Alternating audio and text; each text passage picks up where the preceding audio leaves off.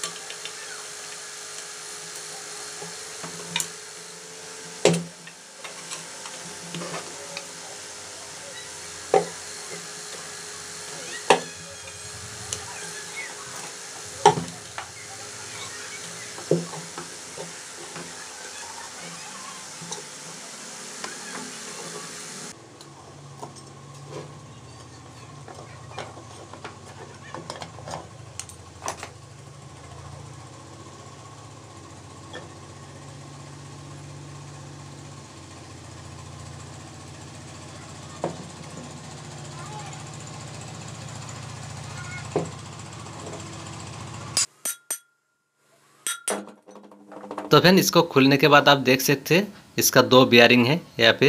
एक बड़ा साइज़ का बियरिंग है और एक छोटा साइज़ का बियरिंग है। ये वाला छोटा साइज़ का है। तो हमें इसको पहले ऐसे निकालना होगा।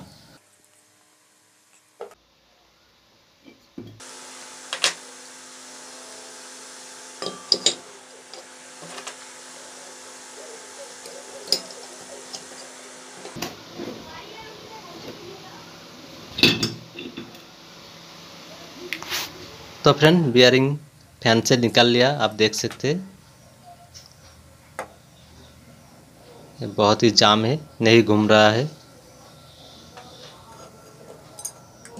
और उसके बाद हमें इसको निकालना होगा, यहाँ से।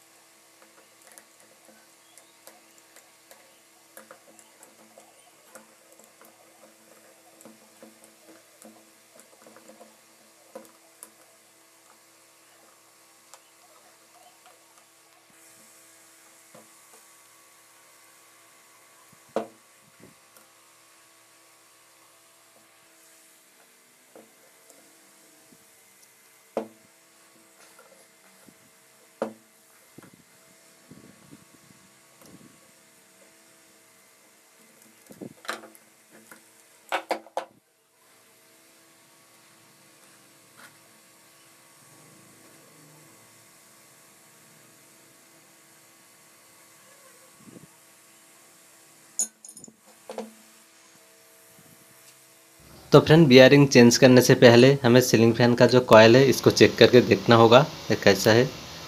अच्छा है क्या नहीं? तो ये तीनों वायर है, इससे ऐसे सीरीज़ लाइन से टच करना होगा। अगर ऐसे बाल्ब जलेगा तो समझना होगा कॉयल अच्छा है। और उसके बाद हमें बॉडी चेक करना होगा। कोई भी वायर से इस बॉडी से टच करना होगा। तो इसका मतलब समझना होगा ये बॉडी शॉर्ट है, ये कॉयल ख़राब हो चुकी है। तो फ्रेंड ये जो फ़ैन का कॉयल है, ये ख़राब हो चुकी है। इसको ठीक करने के बाद हमें बियरिंग चेंज करना होगा।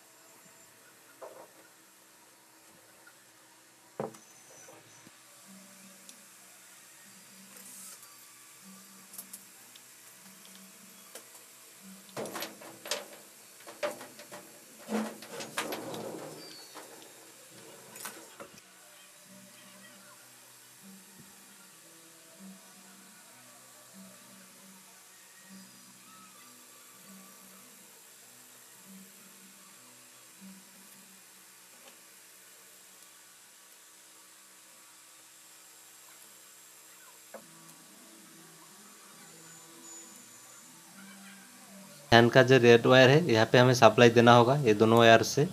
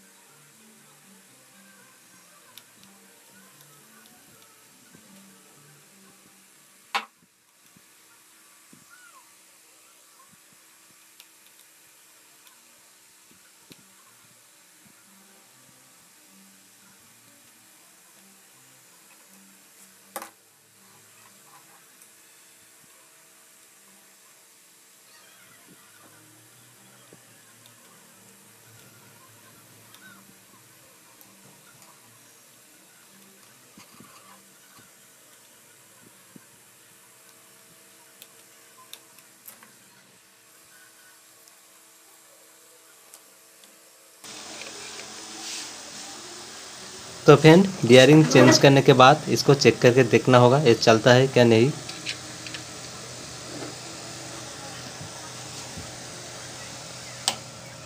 तो आप देख सकते हैं, इसको सप्लाई देने से चल रहा है। इसका मतलब ओके बिल्कुल ओके थैंक यू दोस्तों, मेरा वीडियो देखने के लिए अच्छा लगा तो लाइक कीजिए और मेरे चैनल को सब्सक्राइब कीजिए, क्योंकि इस तरह वीडियो मैं हर लाता रहता हूँ।